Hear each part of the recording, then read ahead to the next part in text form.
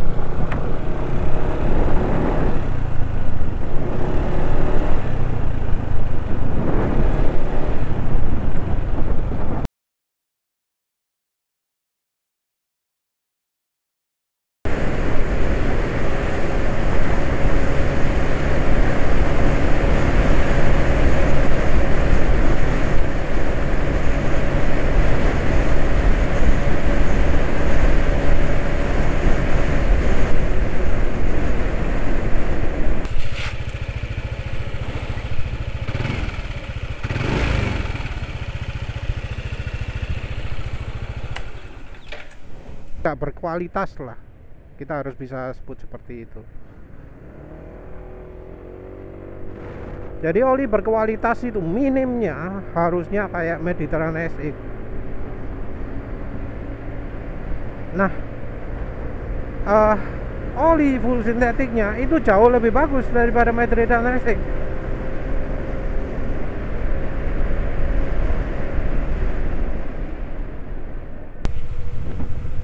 Assalamualaikum warahmatullahi wabarakatuh. Penulis kali ini mau memutuskan untuk ganti oli KGO PAO ya. Dari RPM mesin termasuk nggak cepat turun Tapi ini karena penulis sudah tambahkan aditif oli samping dan juga minyak goreng. Minyak gorengnya bimoli klasik ya. Jadi ini wes perpanjangan lah nanti soal olinya sendiri penulis bahas besok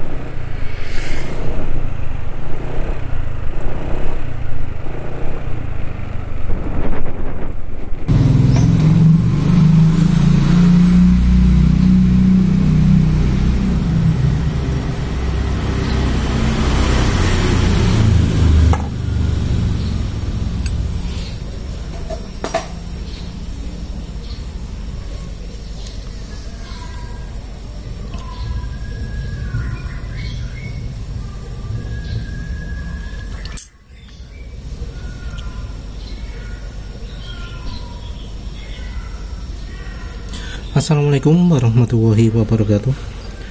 Kali ini penulis Drenoli Karena aslinya gak tahan sama suaranya ya. Olinya sendiri sudah mulai peret ya Ketika hari kedua mungkin ya. Jadi udah peret di gas di player. RPM cepat turun Kasih aditif Oli samping sama minyak sawit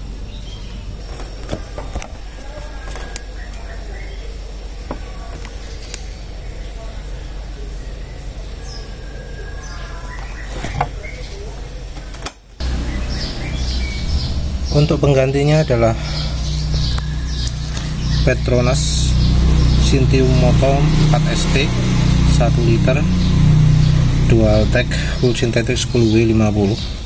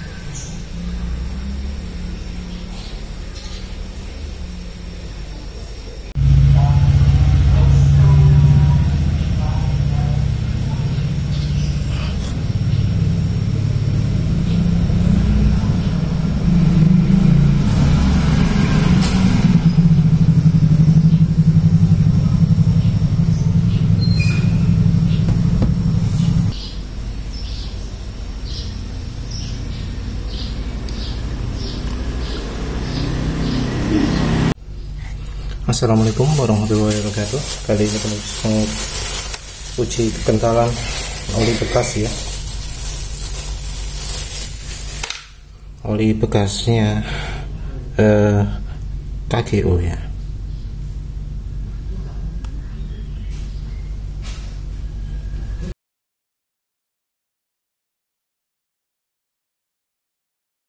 Wes terus kita isi oli yang belum kepake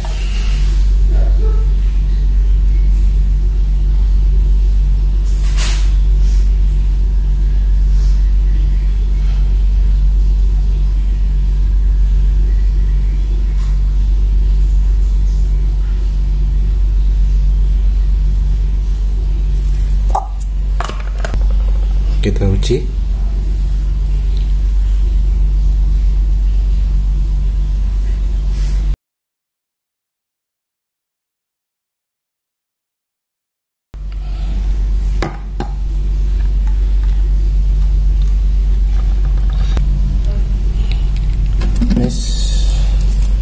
Ini penulis lupa misalkan tak cukup togak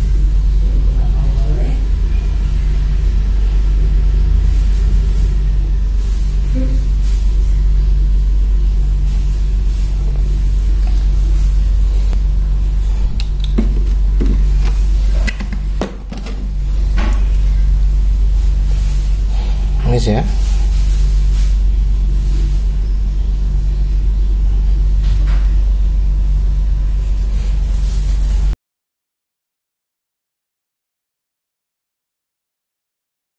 Wes itu aja wes uh, besok uji panggang olinya wes itu aja. Terima kasih sudah menonton. Assalamualaikum warahmatullahi wabarakatuh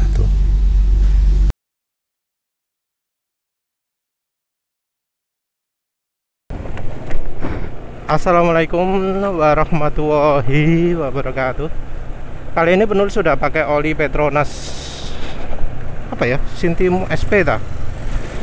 Eh, kok lali Yang jelas 10W50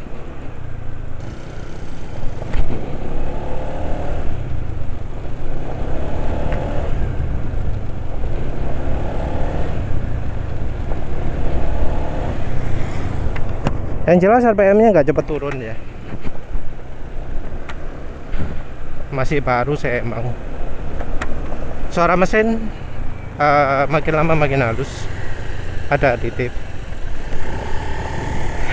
Dari sisi kekentalan dari empat oli balapan yang menulis coba. Termasuk tengah-tengah ya. Jadi yang jadi yang RS4 GP itu 10W40 yang Kawasaki Genuine Oil 10W40 uh, KGO Idemitsu Pau ya 10W40 terus yang Likui Moly Street Race 10W60 dan ini Petronas 10W50 untuk soal asli atau palsu, penulis asumsikan semua asli ya. Untuk Likui Moly, RS4GP dan KTO Pau itu masa pakainya mirip-mirip ya, hampir sama. Ya barangkali mungkin semua itu semi Pau. Untuk sisi aditif yang RS4 GP kayaknya malah lebih bagus ya. Kesannya kok seperti itu. Yang paling buruk adalah Idemitsu ya. Penulis sebut Idemitsu karena ya Idemitsu ya sejarah kok ngono ya. Penulis sebelumnya pakai Idemitsu Jaso MP ya sifatnya mirip. Jadi penulis itu menganggap oli Idemitsu itu paling paling ngirit lah ya. Kayaknya uh, olinya itu tidak didesain untuk Indonesia. Desainnya untuk Jepang loh resep-resep Jepang. Mereka nggak kembangkan di sini. Jadi ya untuk balapan di sini penulis yang nggak rekomendasikan pakai oli Demitsu ya. Kan bisa jadi cuma diperuntukkan untuk balapan di Jepang sana kakek opao itu kalau nggak salah mestinya ya olinya ninja. Ninja entah berapapun ya. Mau yang 1000 mau yang 250 termasuk juga ZX25R gitu ya. Katanya sih untuk mesin RPM tinggi. Hah? kalau RPM tinggi ada licinnya kalau RPM rendah gak ono belas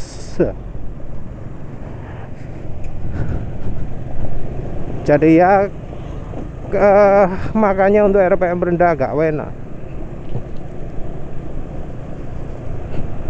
Dipakai untuk uh, ya kayak pemakaian penulis ini kurang begitu cocok. Dipakai ngebut juga sebenarnya juga kurang enak. Karena ya seperti biasanya ya penulis pakai 10 W40 gak iso banter motor itu wis fakta wis. Pakai 10 W40 gak iso banter. Kemarin penulis sudah coba beberapa kali uh, sebelum-sebelumnya dari sebelumnya. Beberapa kali coba gaspol. Iya gak iso banter ya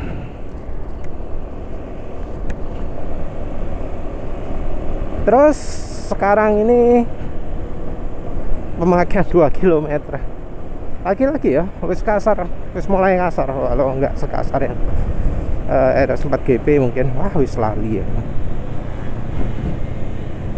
Karena era 4 GP itu kemarin uh, berangkat wis kasar. Apalagi ketika nyampe tujuan penulis itu ganti oli lebih karena gak betah kasar ya. toh dari sisi kemampuan aditif wis apa jenenge wis kebantu sama oli samping. Jadi kalau pakai uh, oli samping ya wis lah. Difonis olinya aditif PL nggak bisa dibilang licin itu Mitsu itu. Yang licin itu RS 4 GP tapi ya itu. Kutu banter di yang liquid moly juga sama. Aditif kalau lagi pelan-pelan nggak begitu enak. Emang berapa RPM sih e, kalau kendaraan moge itu? Idlingnya soalnya kok perasaan tinggi banget ya. Yang penulis tahu cuma ZX25R yang idlingnya itu 5000 rpm kalau kayak Ninja 1000 apa segitu juga ya idlingnya penulis nggak tahu. Apa 3500 jadi jalannya di 7000 wah nggak tahu lah. Kalau disamakan mobil ya rendah sekali RPM maksimal mobil cuma 6000 ya terus apa mana ya? Dari sisi ketahanan penulis sulit bicara soal ketahanan karena ya mulai dari awal-awal. Mulai dari satu kilometer lah. Itu wes kasar suara mesinnya. Terus terusnya kasar terus ya mungkin karena olinya terlalu encer untuk motor penulis. Mungkin kalau rumahnya di gunung gitu oli KGO PAO itu mungkin ideal kali ya. Tapi kalau untuk daerah penulis ini ah wis. Cocok.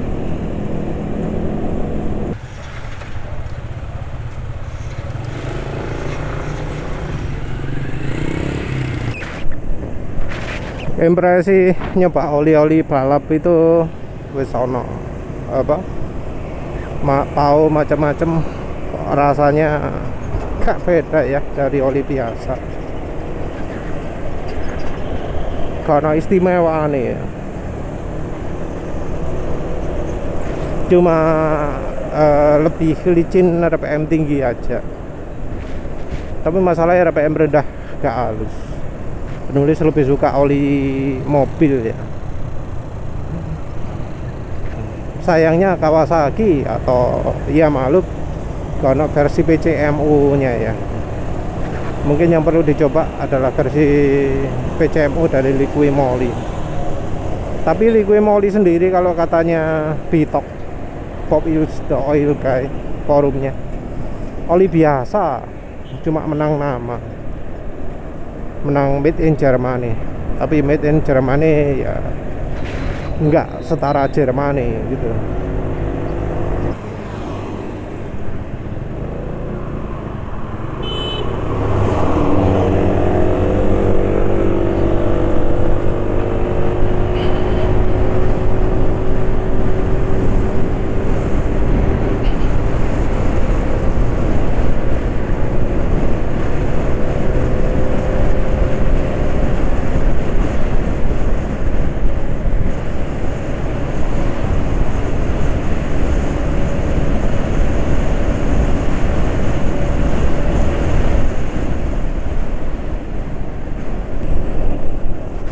entah mengapa berat ya. Olinya berat. Apa mungkin karena aditif ya? Selama pakai kencang tadi ya nggak terasa kasar. Ini juga dipakai peran juga nggak terasa kasar tapi jadi berat. Beratnya kayak oli ada kebanyakan aditif ya. Beda dari kalau pakai oli 10 W40 suara kasar gak iso banter kalau ini mesin halus gak iso banter jadi ini sudah mau sampai kantor ya. Masih licin. Kalau asak-asaknya sudah muncul ya. Entah ini lebih baik dari sebelumnya atau enggak ya. Wis lali. Karena yang sebelumnya itu kasarnya kenemenen ya. Terlalu merata entah mengapa ya kok semua oli spot itu sampai uh, pemakaian 15 kilometeran itu wis asak-asak kabeh ya. Kalau pakai ADO enggak ya perasaan. Ya nggak bisa disamakan dengan mesran juga ya jauh ya. Semua oli spot yang perlu coba. Dari RS4 GP, Likui Moly Street Race, KGO PAO sampai sekarang Petronas Sprint, uh, Sintium SP ini entah mengapa kau nasi podo karena mesran saya 40 sama Unilo eh sama Upsol saja kalah ya Upsol 25.000 dengan oli-oli lama ya iya wis podo ae lah kayak